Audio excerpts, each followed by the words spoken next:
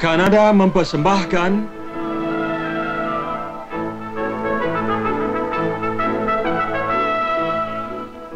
Air Pasang Melempah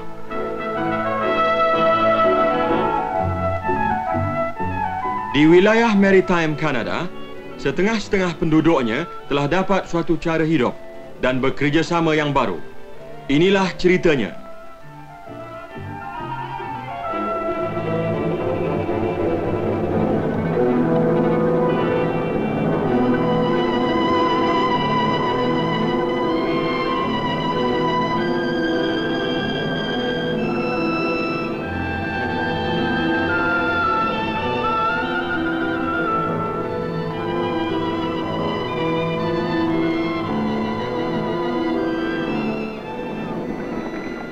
Nelayan, nelayan dari wilayah maritime.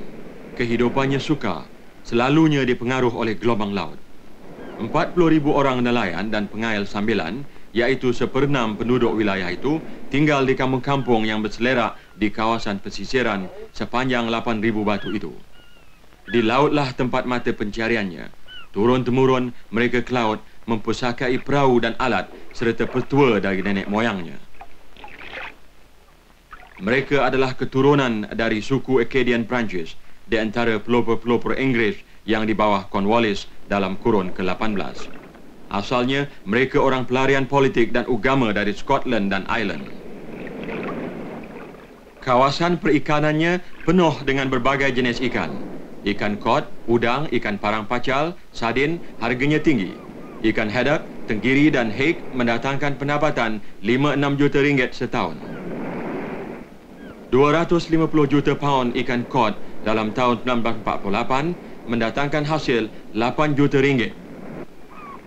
Ikan salmon Atlantic sebanyak 2,5 juta pound menghasilkan 600 ribu ringgit.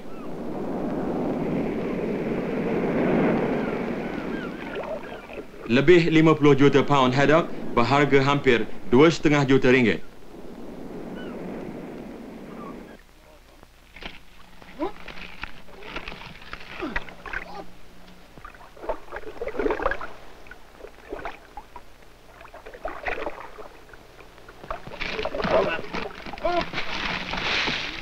Berkurun-kurun lamanya, sebahagian besar nelayan maritime bersambil-sambilan bekerja di kilang papan dan bercocok tanam.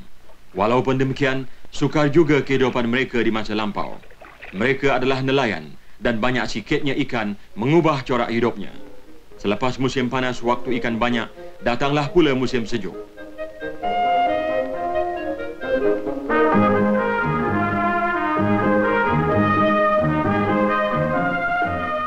Wilayah-wilayah maritime lebih luas daripada England, tetapi penduduknya seramai satu suku juta sahaja. Di sini, secara kecil, ialah masalah pekerjaan bagi negeri yang moden, dari bercocok tanam yang ringkas hingga perusahaan besar yang rumit.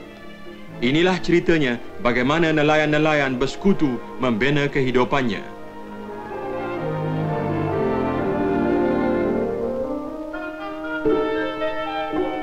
Orang-orang maritime pernah dirondong kesempitan hidupnya. Padahal ada di situ lembah Annapolis yang kaya.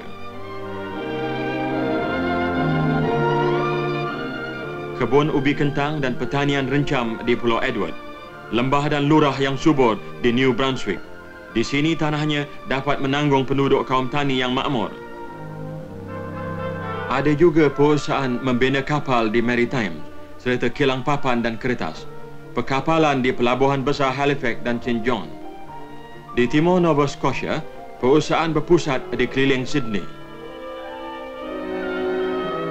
Arang batu yang terjumpa di situ mendatangkan modal dan perusahaan besi waja serta beratus-ratus orang pelombong British pada penghujung tahun 1840.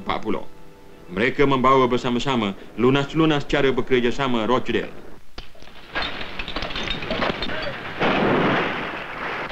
Pelombong-pelombong ini dapati lunas-lunas nenek moyangnya itu masih dapat dijalankan sekarang seperti 100 tahun dahulu, iaitu seperti keahlian terbuka, pengawasan secara demokrasi, satu ahli satu undinya, dan pembahagian kembali pendapatan berlebih kepada ahli-ahli berasaskan banyak sedikitnya mereka membeli membelah.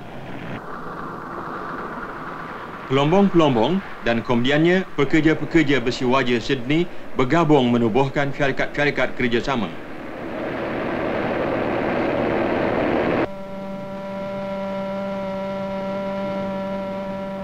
Orang-orang telah meninggalkan perusahaan perikanan dalam tahun-tahun ke-20-an untuk bekerja di lombong-lombong dan perusahaan besi wajah. Charlie Joe Gallen salah seorang daripadanya. Dia akan memberitahu Tuan bahawa ringgitnya beranak pinak di kedai-kedai syarikat kerjasama itu. Dia faham akan apa yang dicakapkannya waktu berbincang di Lembaga Perkhidmatan Kerjasama Cape Breton, satu pertubuhan dagangan borong yang meliputi Pulau Cape Breton. Dia bercakap penuh tanggungjawab serta faham akan masalah mereka yang melantiknya. Berserta di persidangan lembaga pengarah ialah seorang petani Charlie Joe seorang pelombong, seorang pekerja besi wajah dan seorang nelayan.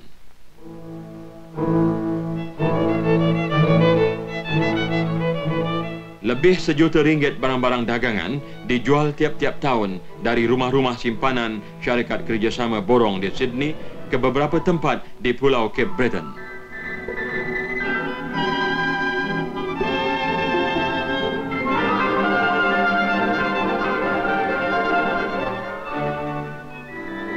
Pelopor syarikat kerjasama tempatan ialah syarikat British Canadian yang mempunyai rekod keuntungan berjuta-juta ringgit yang dibagi-bagikan kepada ahlinya sejak tertubuhnya. Dan perumahan secara kerjasama, Suruhanjaya Perumahan Nova Scotia melalui pinjaman jangka panjang kepada syarikat membolehkan terbina rumah-rumah moden ini sekadar dapat dibeli oleh pekerja-pekerja bandar. Tapi wang sahaja belumlah mencukupi di kelab-kelab pengkajian, ahli-ahli merancangkan perumahan mereka. Bukan mudah nak membuat orang sedar bahawa pengajian itu perlu. Bukan hanya untuk seseorang penuntut, bahkan juga nelayan-nelayan dalam perkumpulan ini. Mereka sudah tahu sesuatu itu. Mereka belajar menerusi pengalaman. Dengarlah apa kata Willie LeBlanc. Ya, dulunya tak begini.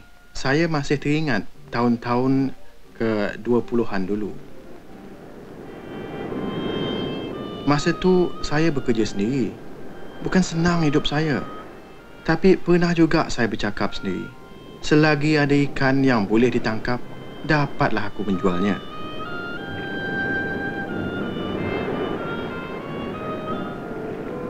Aku bertuankan diri sendiri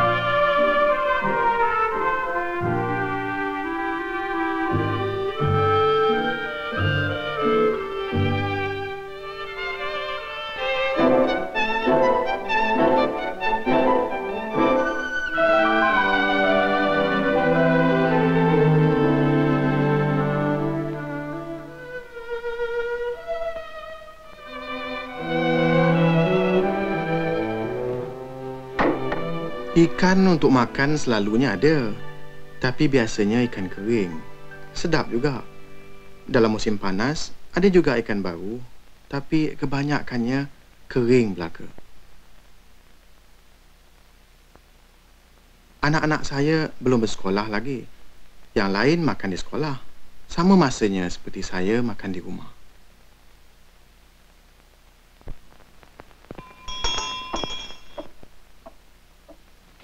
Di seluruh kampung tu, cuma tiga orang budak saja yang ada buku dan kasut untuk pergi sekolah tahun itu. Anak sepupu saya bawa roti dan air gula. Yang lain cuma roti saja.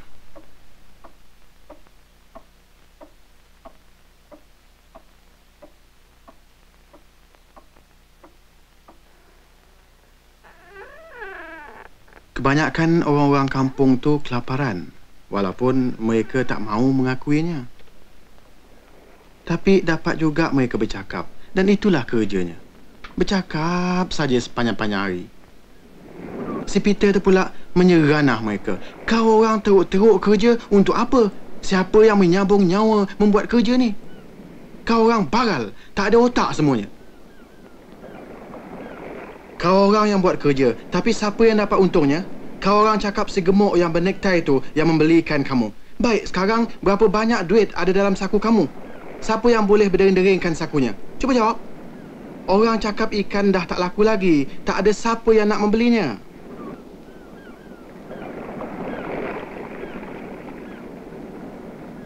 Dia bilang elok kita pergi ke Lombong atau ke Amerika. Di sana boleh buat duit. Tak guna tunggu sini lagi. Mati kebuluran nanti. Tak ada harapan lagi di maritime. Begitulah pendapat si Peter tu.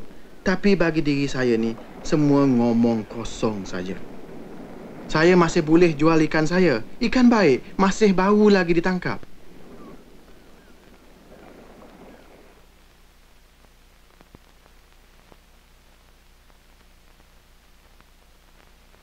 Tapi uh, seringgit lima puluh sembilan sen saja.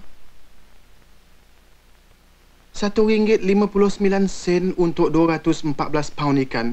Jadinya kurang satu sen satu pound. Ah, itulah harganya sekarang, kata wakil pembeli ikan tu. Tapi tak padan dengan duit minyak motorbot. Tapi tak guna bertengkar. Dah begitu katanya harga ikan, apa boleh buat?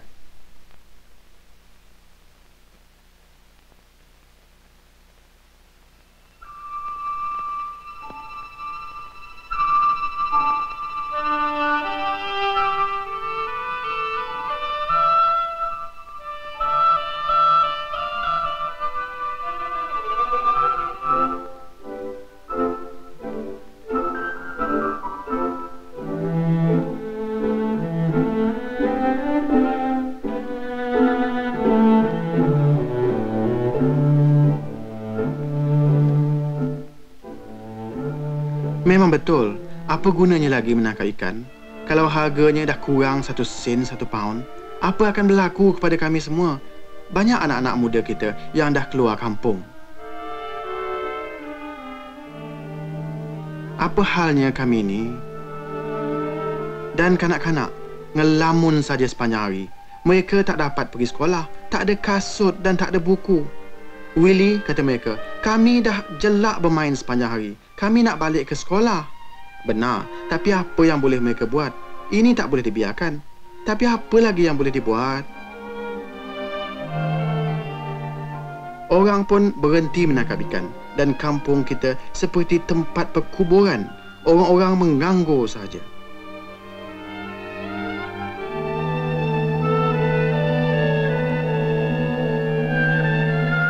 Yang dapat didengar itulah bunyi burung camar itu saja.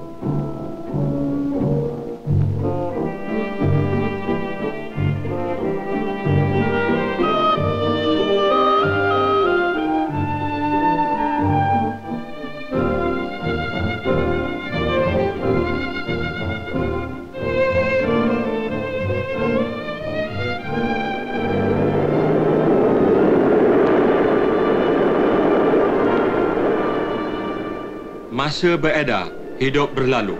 banyak penduduk merantau ke lain bahagian Kanada dan Amerika Syarikat dan banyak pula yang kelaparan.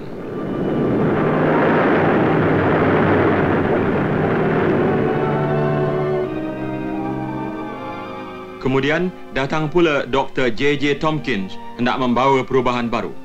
Jangan putus asa katanya kepada nelayan-nelayan itu. Buatlah apa yang patut bagi diri kamu. Kepada kerajaan dia menuntut bertindaklah untuk meredakan kesukaran nelayan-nelayan itu dan bertindaklah segera. Suruhanjaya Diraja telah dilantik dalam tahun 1927 iaitu Suruhanjaya McLean.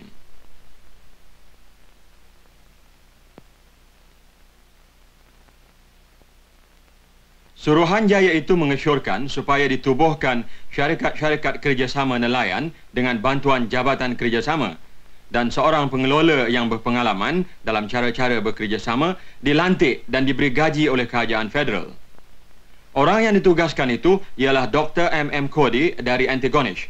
Dia menerangkan, sekalian manusia dapat hidup di dunia ini tapi pertama, janganlah bising-bisingkan tentang hak-hak maritime selagi belum kamu kajikan sendiri di mana letaknya kesilapan kamu. Ada dua jalan nak menjadikan hasil bumi ini kegunaan manusia. Yang pertama, menerusi usaha bersendirian. Di sini terpaksa kita mesti pandai dan rajin. Tapi kita tak boleh ikut semata-mata cara ini. Kita mesti gunakan cara yang lagi satu, iaitu cara beramai-ramai atau bekerjasama.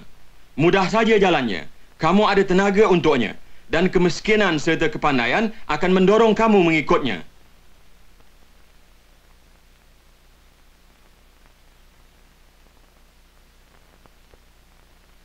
Di University St. Francis Xavier di Antigonish, Dr. Cody dilantik menjadi ketua jabatan tambahan yang ditaja untuk menghubungkan universiti itu kepada rakyat. Beliau serta rakan-rakannya membentuk satu cara melatih pengelola-pengelola yang bakal dihantarkan ke kelab-kelab kajian.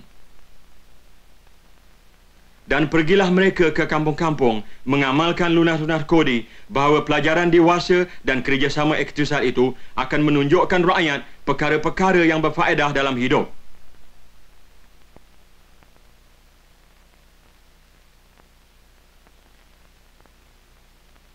Dan beginilah mulanya, saya pergi nak mendengar apa kata orang tu.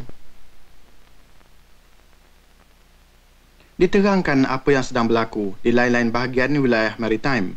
Orang di sana berkumpul macam ni nak belajar cara-cara bekerjasama. Dia terus bercakap dan kami mendengarnya. Seorang muzahab protestan, Stan Jenkins, duduk di sebelah Mike Driscoll. Dan saya masih teringat lagi apa Dr. Tompkins kata.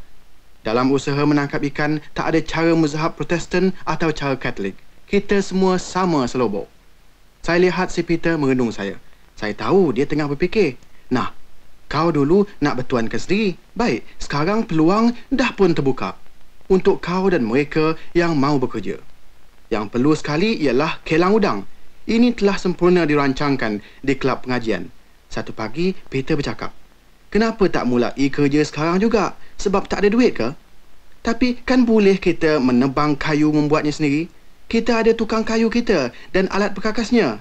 Tak boleh lengah-lengah lagi. Musim udang dah nak tiba.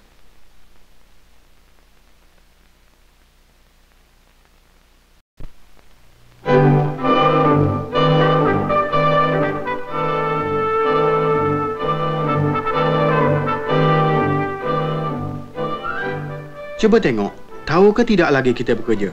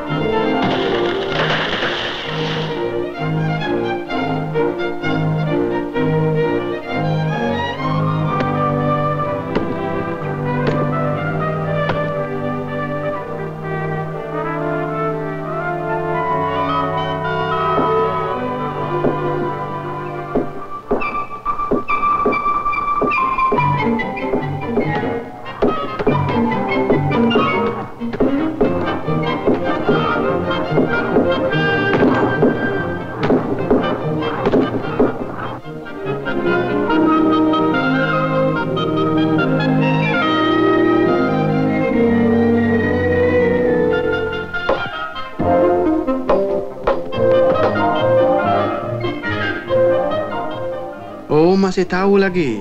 Seronok juga bekerja balik. Setengah kayu digegaji di kelang papan, tapi kebanyakan kerja kamilah yang membuatnya sendiri. Kelang tu bakal kami yang punya. Jadi tiap-tiap orang beri bantuan. Hinggakan perempuan juga menolong. Mereka buat stokin, sarung tangan dan lap kaki untuk dijual dan wangnya didermakan bagi membeli jentera kelang.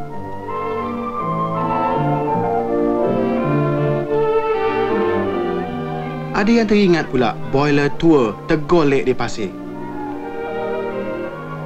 Kami pun pergilah mendapatnya untuk dibawa ke kelang kami.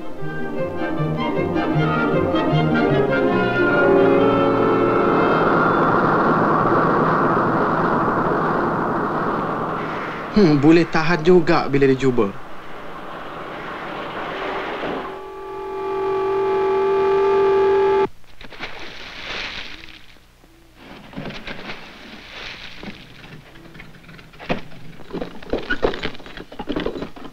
Sangat deras semuanya berlalu dalam tahun-tahun yang berikut. Perahu-perahu diperiksa, semuanya perlu diperbaiki. Wang untuknya diperolehi dari Kesatuan Peminjaman Tempatan yang ditubuhkan di bawah pimpinan Jabatan Tambahan dengan wang simpanan nelayan-nelayan sejak beberapa tahun. Baliklah mereka bekerja dan bekerja secara kerjasama.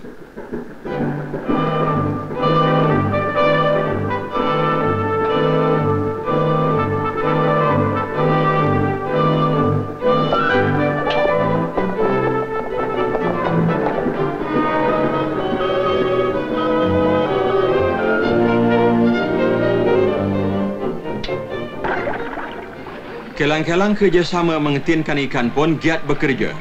Dengan terjaminnya nasib mereka, nelayan-nelayan itu pun mulalah mengkajikan cara-cara yang lebih elok bagi mengolahkan ikan-ikan itu. Tak adalah lagi ikan-ikan membusuk di tambatan. Sebaliknya, banyak yang dikeluarkan bertintin dari kedai-kedai kerjasama itu. Pemilikan bersama kelang itu dan tanggungjawab bersama atas kejayaannya bermakna satu gerakan bersekutu dan tersusun nelayan-nelayan yang kini menjadi anggota syarikat pasarannya sendiri menjual hasilnya ke pasaran dunia.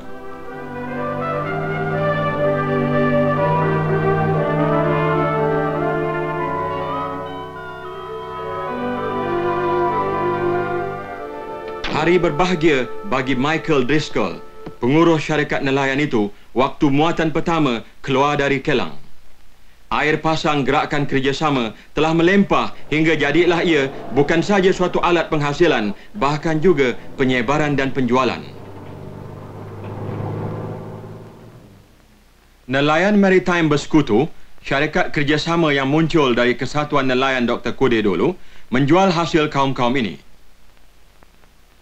Apabila pusat-pusat sebaran ditubuhkan di Chatham dan Halifax, nelayan-nelayan itu terkenangkan masa dulunya – sudah patut mereka bergembira sekarang. kerap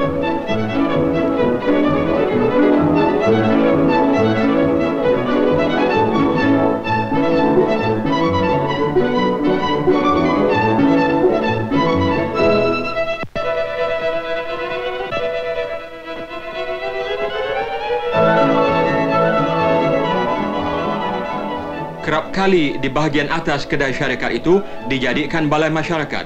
Masyarakatnya pun berkembang.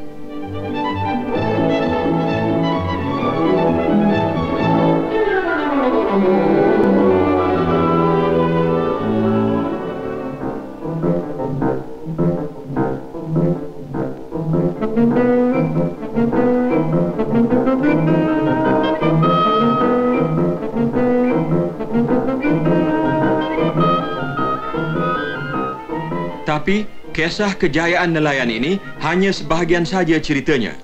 Rancangan antagonis mementingkan sebaran gerakan kerjasama ke seluruh negeri, mencantumkan pelombong dan pekerja besi wajah di bandar dengan petani dan nelayan di kampung-kampung. Barulah orang-orang terlihat faedah kerjasama itu. Bukan saja melihat, tapi hidup dengannya.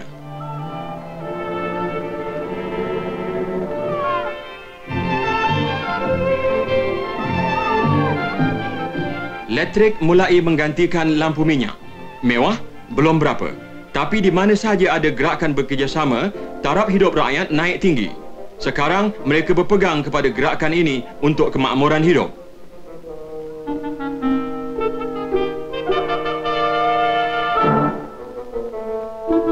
Kedai-kedai kepunyaan pelanggan-pelanggannya sendiri yang berselerak di kampung-kampung membawa bersama-samanya hidup baru.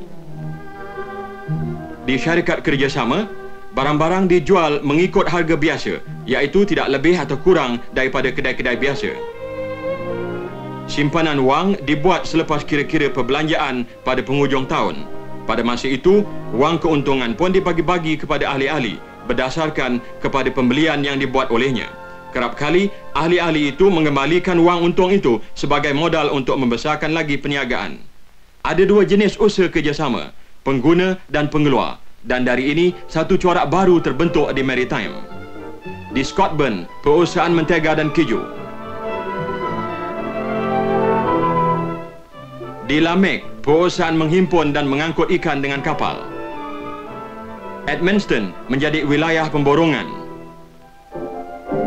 Di Fredericton, perusahaan mentega, ternakan ayam, alat jentera ladang dan lain-lain.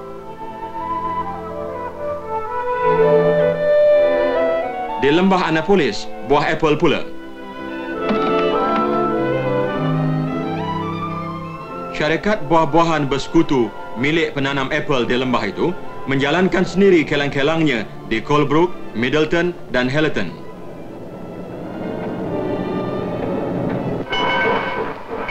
Corak baru ini makin menjadi-jadi di kalangan masyarakat bandar dan kampung. Orang-orang dapati satu perasaan baru waktu mempunyai alat jentera untuk mengeluar dan menyebarkan hasil mereka. Moncton, di sinilah pusat memborong, iaitu Perkhidmatan Kerjasama Maritime. Terletak di pusat jalan kereta api wilayah. Tempat pemborongan wilayah ditubuhkan di Antigonish, di Edmundston dan di Sydney. Di sini, di Maritime adalah satu alam. Cukup besarnya untuk memberi makna, tapi cukup kecilnya pula untuk membolehkan dikawal. Sekarang, dari Maritime, jenis gerakan kerjasama ini dikenal di beberapa bahagian dunia ini. Di Amerika Syarikat, pertubuhan kerjasamanya telah dipengaruhi oleh tauladan ini. Demikianlah juga halnya di Jamaica, Trinidad dan Puerto Rico.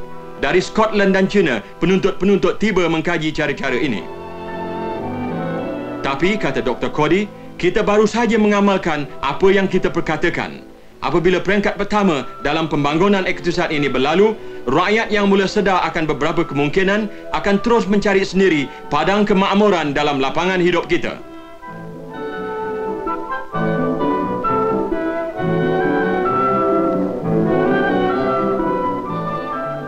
Hai, saya tak sangka dulu kita begini bagus.